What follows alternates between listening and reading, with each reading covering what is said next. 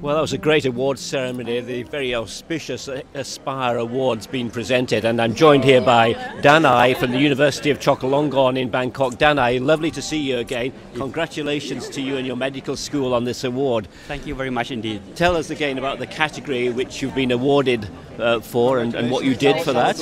Uh, is the category of the uh, student engagement in medical in medical curriculum.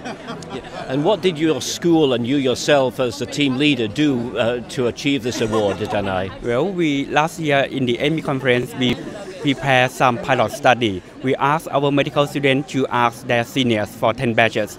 Uh, the student, uh, we asked our medical students to uh, conduct a little research with their senior for 10 batches to see if there is a possibility for us if we have done very well on this category or not. And when the result from our pilot study show that uh, we did quite well in this category, I raised this issue to the executive board of the faculty, and they support us to conducting this work.